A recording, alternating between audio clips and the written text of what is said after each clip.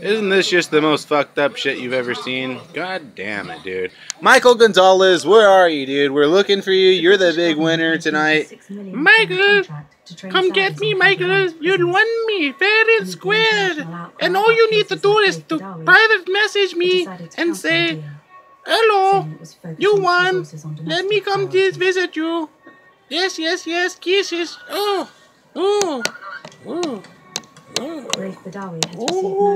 Michael, this could be your dude. I, I'm not gonna be playing with your toy, dude. You fucking come claim it, dude. This is yours. You want it?